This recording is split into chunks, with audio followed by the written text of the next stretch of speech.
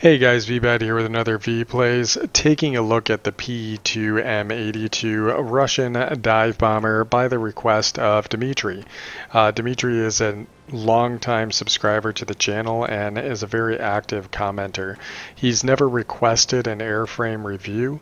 In fact, he's not even requesting one now. What he's actually asking for is to show people how to use a dive bombing aircraft because he feels like there's a lot of potential in this airframe and the ability to dictate how a battle goes, and that it's a good alternative to the typical B-17Gs that you see flying around, or even the Do 217M. Uh, I'm going to say that as far as Tier 6 bombers go, I find this one to be one of the most fun aircraft to fly. Uh, I really enjoy the speed, the ability to get around the battlefield, and the concept of having a forward firing gun, even on an aircraft like this, is also a very capable and dangerous threat to the enemy. So we only get four bombs. They get a really quick reload, however. We're going to try and get both of these bombs dead center on that site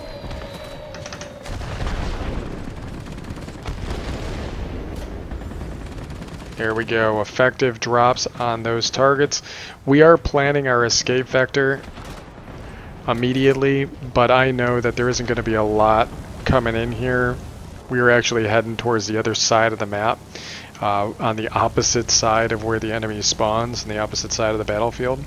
So I'm actually going to use some of my boost, get some of my airspeed back up, get that air that altitude back up for potential airspeed. I'm going to hit that boost cooler and we're going to cool those engines down so we can get to the next area. Now we're not climbing too high because our next target is actually going to be this mining facility.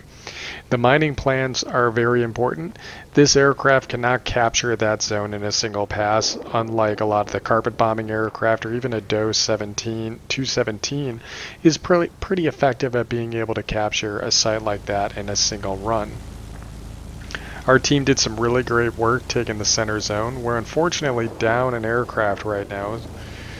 I'm using the descent to kind of build up this airspeed and hold it a little bit. So we're getting up to uh, almost 400 miles an hour, which at tier 6 is a really good airspeed. We're trying to be careful on our run-in here so that we're not getting caught out by the enemy by the AA from this site. I'm actually going to go into the bomb sight mode because you do have a bomb sight mode on this aircraft. And we're going to drop one, two, three, four. And that should be enough to be able to get all the structures in the middle. That gave us a good amount of the capture already done. We're pretty good on our reload. And we're staying low so we don't get shot up by the AA. Hopefully our ground attacker will be able to finish the zone. If he does, then we can move on to trying to counter the enemy's zone as well. Looks like our team is putting a lot of effort into grabbing that command center, which is totally fine with me. Dropping the nose here. Ooh. Looks like the enemy's coming in here trying to contest our area. Let's drop on this site right here. And we managed to finish it off. We're going to do something a little bit crazy here, and that's going to be going up and after a B-17. Now this is a Delta, so this is only the tier 5, but we do have a forward firing gun which means we do have a capability to counter this aircraft to a certain degree. He is most likely going to be turning back to try to take this zone. So we're going to wait for him to make that move. And now we're going to go in for an intercept.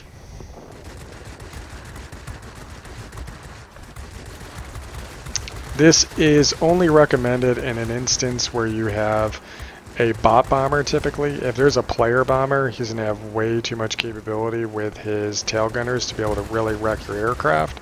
But we're kind of sitting in that sweet spot where he only has one gun that's able to get on us right now. And we managed to take him out, which means that we get to keep this zone for just a little bit longer. Finally, we have some allies coming in here to give us a hand, but we have an enemy IL-2 that I'm a little bit concerned about right now. What is he going after next? I'm looking for his target.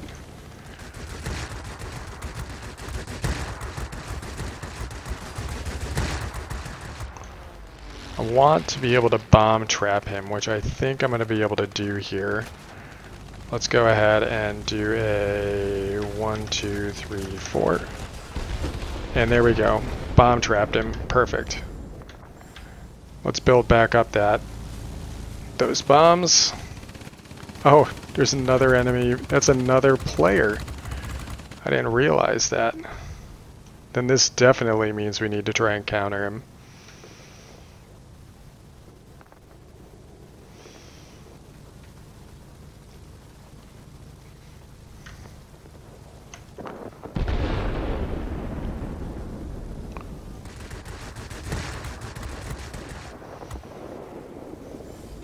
Oh, I don't know if we took out his tail or he just got overcommitted, but looks like he just ate the dirt right there. We have all five of our bombers made it to the enemy to the enemy site over there, so we just got all the all the mining plants are captured. Nice. The team is doing good. We've got a really good Focke-Wulf on our team, a Ki 102. Lots of solid platforms giving us a hand here. Let's see if we can get a repeat of what we had with the B-17D.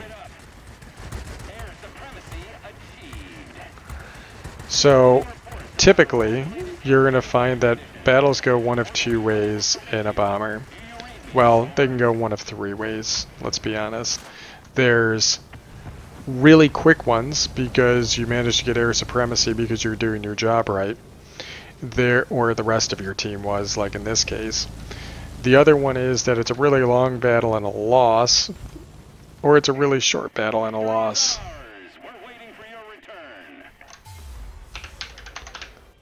But a win's a win's a win, so I'm happy with that.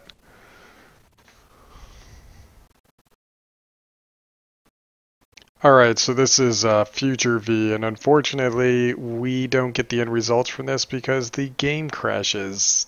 Thanks for that. Really appreciate it. It's been happening a lot lately. Anyways, let's move on. Let's do another battle because in Air Supremacy, that's a pretty quick match, and I still want to highlight some of the capabilities of the airframe. So this is going to be a little bit more tricky of a battle and is going to take a little bit more creativity on our part. Alright, so we're back into it. Another battle, and in this battle we have the command center in the center of the map, and then we have a garrison and a mining plant on our side, while they've got the same on the other side. So my initial thought here is I'm going to go in, I'm going to help with the command center, and then I'm going to essentially vacate the area. Like I, have done my part, I'm going to drop my munitions and I'm going to leave. Uh, as a dive bomber, we're going to go ahead and get a little bit of climb going on here, get some altitude so we can drop down on these targets. Now maintaining it around 300 miles an hour by alternating the boost a little bit. We've got a lot of boost to play with. It regens fairly quickly and we put a cooler on this. A lot of people are probably going to be really tempted to put on a engine restarter, but uh, I find that to be effective, I want to get my speed back up. And I'm going to need to do that by being able to hammer down the boost and getting myself out of those trouble shots so I'm not losing the engine in the first place. You'll note that I'm not even putting the nose down yet because I want to make this a very quick run. So I'm going to go ahead and nose over now. And I already know I'm going for the two smaller radar sites, the ones with the flat panels. Now, I probably should have lingered a little bit longer on that target. I pulled away too quickly, and that meant that my bombs were going to spread, because it does take about a half second for those bombs to kind of release from the airframe. There's still a little bit left on that first side we went after. But I'm going to go ahead and build my airspeed and altitude back up. Uh, if we can hammer down the boost, we can actually climb in a straight vertical and lose very little airspeed, which is what's nice about this airframe. Alright, so level them back off at around 7,000 plus. This is going to go against a lot of things that I typically preach, which are which is pretty much always stay inside your optimum altitude except for extreme circumstances. These dive bombers really like being up higher. I'm diving a lot earlier here, but I'm trying to build up my airspeed and get out of the AA realm. Fortunately, my team's already damaged a bunch of these sites here, so I can feel free to go ahead and drop on this already damaged site with a single bomb. One here and one on the smokestack. I probably could have shot that if I was so inclined, and I had dropped a single bomb, but it was unnecessary. We were able to flip the site. I don't know why that little bomb bay door opens up because the bombs don't actually drop out of that. They actually drop out of these four sets of semicircle rings that are located right here and you'll see them when they respawn. In fact, the bombs, there used to be the nacelles on the back of the engines used to open up when you go into bomb sight mode and you could actually, that was supposedly where bombs would drop out of? I don't know. I'd have to look up this airframe again, but uh, I'm sure that there was an internal capacity as well. Alright, so we've got two people on us, both players. We're just trying to get out of the zones, that way we're not hurting our team here. But we're also pumping out as much damage as humanly possible, and we're actually using the... What is it? It's the ring, the one that is supposed to be meant for letting your gunners get on target on their own. Uh, but when you roll for increased rate of fire, you get a little bit more damage out of these. So it's kind of like getting gas operated action on your tail gunners. So it's a nice little boost. And you saw we definitely put the enemy on the back foot there by putting him without an engine and bringing him down almost half health. So now he's going to be struggling. We are going to spawn back in here as soon as the button reacts to me pushing it. And my initial thoughts are, okay, we lost the command center, fine. But it's already below halfway, so I think I should be able to finish it off uh, with these four bombs if I just plan my targets appropriately and I don't waste any of my shots like I did on the first run-in. Again, getting up at around 7,000 feet, maintaining some pretty decent airspeed here, I'm getting a bit anxious because I see my teammates are dying in here, so I'm actually dropping the nose only about 10 degrees. It allows me able to get my acceleration up a bit, and now I'm going to nose over and come in for a full bomb run. You see that there's a Shizzy Wiznut at half health from when we engaged him earlier. I dropped three there, and I dropped a single one on that site. In the hindsight, I should have saved one for the back section because then I could have gone after that lighter facility that was back there with just a few buildings. But instead, we got to kill another aircraft, and yes, we do have a forward-firing gun, even though we highlighted it in the last battle. Here we are again, finishing off the target, and now I'm trying to get the heck out of Dodge. And Oh, Shizzy is not paying attention to me. Cool. But what is this guy? Oh, jeez. It's another... It's a heavy aircraft. P-38F. We just did a review of the P-38s. They're already nasty enough. We've actually got like four tail gunners on this, even though there's only two guys. Um, but we were able to dissuade the P-38, at least for a moment there. And now he's coming back on us. Oh, come on, man. Get out of here. I don't want to die in that zone, so I'm going to use my really good climb capability to get up and over. And we're still getting those machine guns singing on him, and look how low he is on the hit point pool, and I just can't let him get away. Plus, there's already two fighters here, so if I just go this way, I'm just I'm going to end up taking way too much flak from the AA guns, and I'm also going to get killed by those turn fighters over that zone. So we're going to take advantage of this P-38 being on low health and heading back into the capture zone here. Gonna go and finish off that kill, get some of the capture back on the zone, and now we're going to go ahead and do our trench run. So this is what I was trying to do initially. If we can go ahead and get in here, we're now kind of terrain masked, we're hidden from the enemy, they can't see us, and we can sneak up on this mining facility. Now, I've done this before in ground attackers and it works out pretty well. Uh, and since this bomber is so nimble and can still maintain some really good speed, like 280 on a bomber at this tier, like B-17s have to be hammering down the throttle to make that work. And here we are doing it fairly effectively. This is kind of like your new low altitude bombing king. Ooh, we got an A6M3 experimental. We did that review just uh, on Friday. I think we it's not a review, but we flew it with Postal. Ooh, that was a bad bomb drop. Bad bomb drop. But apparently it was good enough because we managed to take the zone anyways. Now we do have a friendly bomber up overhead as well, but look at how much damage we are able to pump out with that tail gunner against that A6M3 experimental we are getting just a little bit too high and the AA is able to actuate on us now and that's going to be bad news. Trying to avoid this flak a little bit but at the same time I don't want to let him get by without getting any guns on target. Get on that tail gunner. Can we finish him? If we can finish him that would be awesome. There we go. A lot more capture off of him.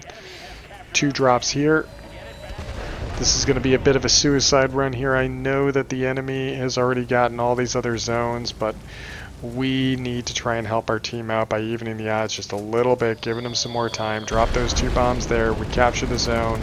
Maybe we can survive this onslaught of this aircraft coming after us. We managed to get Thunderer. We're still behind on points, and it looks like the mining facility, theirs is going to tick over. Well, it just did tick over, and that's why we're so far behind right now. Now we're going to try and get the guns on target. This is just us trying to survive. And see how he's doing that corkscrew maneuver? He wouldn't do that if we didn't have a forward firing gun. So he didn't get any of his guns on target, but we were able to get our tail gunner on him yet again, chunking away just a little bit more health. And knowing that he's going to just come back again, I decide that I'm going to turn around and try to get guns on target, but it was unnecessary. The AA ended up finishing him off, so we're going to go ahead and start heading back towards the center, but I realize that it's pretty much over at this point. Regardless of all the work that we had done, we just weren't able to eke a win out of this battle. But I still feel as though we definitely put our work in and we tried our darndest to be able to help the team out. Now, let's go ahead and go to the hangar and talk about this aircraft a little bit more, how we managed to set it up, and what my plans are for the future for this airframe. Alright, so not a bad battle for us. We ended up getting Thunderer. We definitely took out some aerial targets here. Not a lot, but uh, enough to be able to be very effective at being able to get those capture points as well as sectors captured. And you can see we managed to take out eight ground targets for a total of 31,000 damage. I feel like we did our job here. And just like we did in the previous battle, we, we did our job, but it didn't take nearly as much effort as it did in this one. So, what's really the deciding factor? I think it really just depends on the match you're in, the team you're with, uh, because this does rely very heavily on support, while a B 17G can just wade on into the battlefield and be able to get those bombs off. And then if he can flip the zone, cool. If not, he's going to make everybody that comes near him hate themselves as they get riddled with 50 cals. So Let's go ahead and take a better look at the airframe and see how I've actually set this aircraft up. Uh, there it is, the turret gun laying drive. So this typically is meant to be used is for the gunner to lock on in automatic mode. It even says here aiming speed in automatic mode is quicker. Cool. However, the bonus characteristic we rolled is a 5% to the defensive turret's rate of fire and burst. So as far as I know, and the way that this has been working for me is that that increases that essentially increases the rate of fire by 5% on the tail gunner. Now, a lot of you might be saying, "So what? I got a gas operated action that increases my rate of fire by like 10% or something." Great. However, your fire forward firing gun that you're trying to get on target is still has a bit of a spread. The guns aren't necessarily hitting very consistently, but a tail gunner is essentially an auto lock on weapon. So if you're increasing the rate the rate of fire by 5%, you're increasing the damage by 5%. The gas operated action is increasing your damage by 10%, but it's decreasing the accuracy, and you still have to make those shots land on target. So I think this might be kind of the best bet. I have tried other configurations on this aircraft uh, to include the, what is it, the turret gun sight for getting better range when you're firing with the manual mode, but it, it, doesn't necessarily need it. The the range isn't all that bad on the tail gunners, and it was it's enough to be able to keep the enemy hurting. Uh, defensive fire is really going to help this aircraft out because there was quite a few times that we were able to get the aircraft really low on health, but it would be nice if we could keep ourselves at a higher hit point pool because it was real hit or miss at the end of that last match. Uh, we went with the engine boost mixture. We went with the engine boost mixture because it makes sense uh, for me. Uh, it's essentially we're going to be flying this a lot like we would like a heavy going in for a bombing run. It's going to be flying in dives. It's going to be making steep climbs. It's going to be making a lot of maneuvers. So it really needs its boost for that climb rate to be able to get itself accelerated. Uh, and you'll note that when you put on a piece of equipment like the improved boost mixture, mixture, you're going to note that your rate of climb actually increases. So when I take this off of here, you see that it actually loses 14 feet per second compared to if we were to throw on here like an operated engine, doesn't increase it at all. So just something to bear in mind that it, while you can get something for the operated engine for the straight and level flying, this aircraft as a dive bomber is going to almost always be in the climb. So I think that this is your best bet. Uh, this is debatable. Uh, I lose my engines in this aircraft a lot. But in those instances, I'm usually not getting away anyways. Once they're on me, they're on me. So I'd rather put myself in a position that I'm able to get that boost back so I'm never in a position or I'm seldom in a position to be getting shot at by the enemy as long as I'm planning appropriately. Uh, if we get this thing specialized, I debate putting in the improved mixture control just to get a little bit more out of the speed because every bit of speed you can squeeze out of this thing is going to make it that much more effective. Uh, all in all, I do think that there is a place and a niche for this type of airframe. I find them to be way more engaging and a lot more entertaining to fly as someone who typically doesn't fly bombers. I mean, I've got a bunch of bombers, right? But I'm usually flying heavies, altitude fighters, multi-roles, and this is going to fall more in line with the play style that I prefer opposed to flying in a B-17 or B-32 where you're spending a lot of time either in your bomb reticle shooting at ground target dropping on ground target and then hopping into your tail gunners and managing all of that. Now that there's a place for that and it can be really entertaining for some people and I've enjoyed it myself. However this is going to be more engaging flight wise so I, I still think that it's very effective. It's just hit or miss on whether or not uh, your team's targets sync with what you're going after with this platform. It works really good as a damage augmentation tool to go in with a whole heap and drop your munitions and then leave the area right away while your team continues to dogfight in like a critical node. So all in all, I like them, but it really is up to the individual to decide if this fits their play style. Anyways, guys, I hope you enjoyed the video, and as always, I'll catch you on the next one.